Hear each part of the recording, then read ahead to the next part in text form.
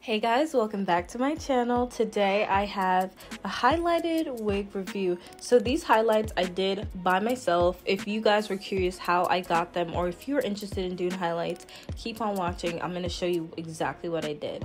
So this wig right here, it's voluptuous y'all. I really, really, really like it. It is short and the density is not as thick as some girls like it, but I personally like thinner hair. I mean, I like it long, but I think thinner looks more believable. Like I don't I do not need all of Earth's forest on my head, if you get what I'm saying.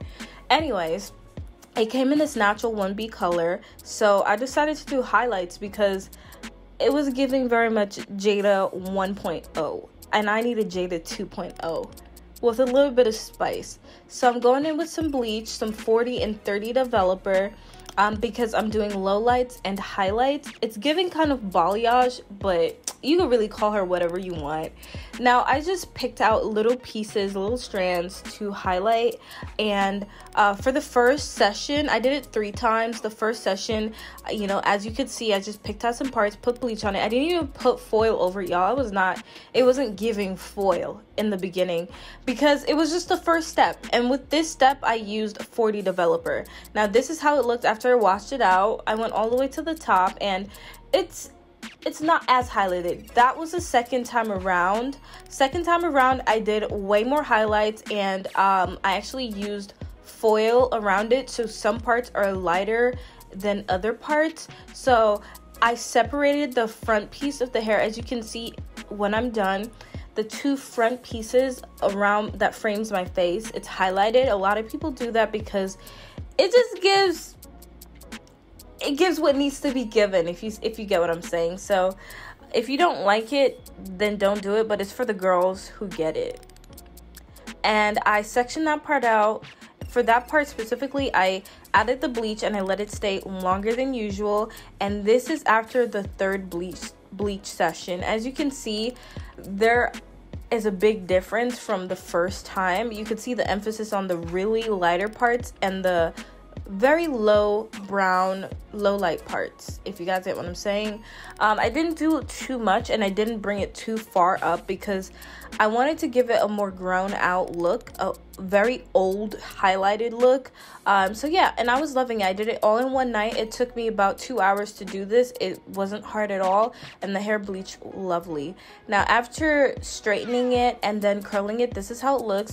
Um, this hair actually curls really well and it straightens really well. And after all of that is still soft I did wear this wig for about a week so I can personally tell you that the hair was still soft after all of that. Maybe if I took it up a notch, it would have been crazy.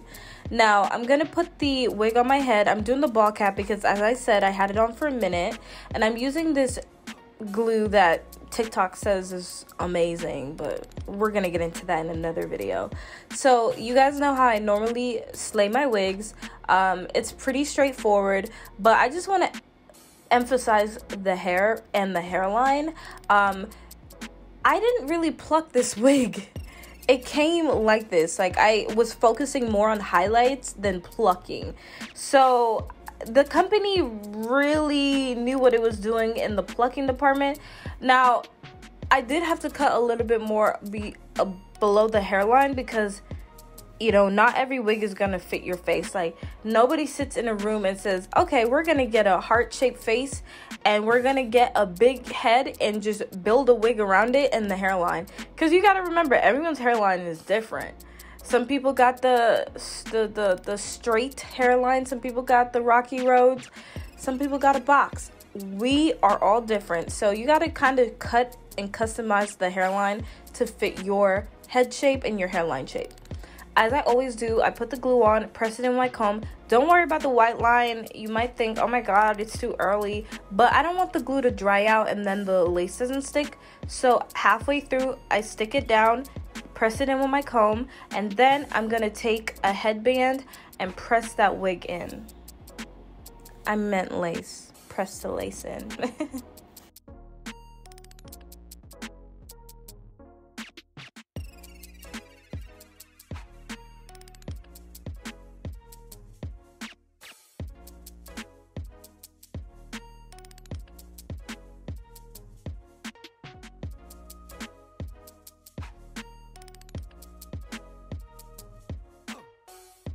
Okay, now that I'm back, I'm gonna remove this. It's been sitting there for a good 10 minutes, so it's most definitely a part of my my hair follicles at this point.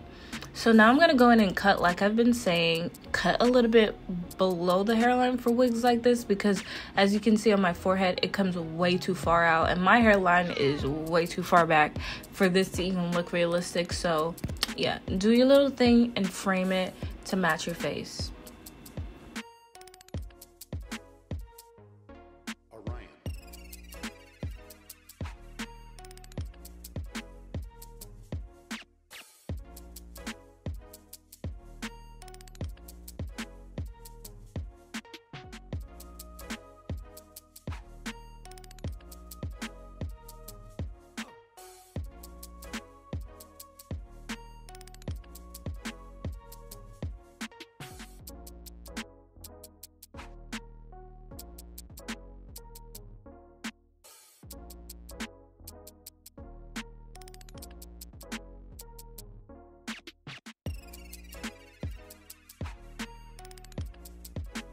So you guys know that we must apply some edges whether it be straight or curly hair. But for this one specifically i've been loving the little trendy tiktok edges.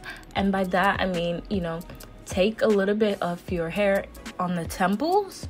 Not in the middle. I hate y'all y'all i hate when i see baby e- edges that's in the center of the forehead and it has those little curly designs like that's so unnatural. Unless it's on your natural hair but like the wigs please girls. Let's let's let's lower the edge count from seven to at least maybe four three two two if we can get there.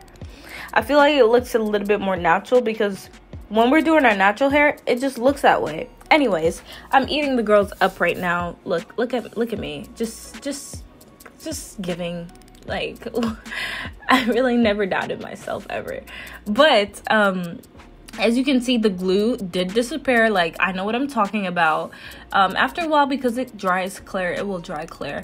Now with the edges all i did was curl it with the flat iron like the tiktok girlies do and then i use a little bit of edge control on top and then lay it down with a scarf or one of those headbands to make sure it's tight and secure um, the hair the highlights and everything as you can see the front two pieces that frame my face it's a little bit lighter than the other parts of the hair which is what i was going for. So i do like this highlighted look. Now the wig does come in longer lengths. Remember it's a 13 by 6 so it looks a little bit more natural when it comes to the lace part. I could have i could have flattened the wig a little bit more with my my flat comb my heat comb, my press comb. What's it called again? I don't remember. But I didn't do that, but as you can see, I love the hair. I did wear this for a week, y'all. I didn't really get updated videos throughout the week, so I'm sorry about that. But I'm so happy that you guys watched this video, and if you like it, all details will be in the description box below. I love when a wig bleaches nicely, though. This is Brazilian, so of course.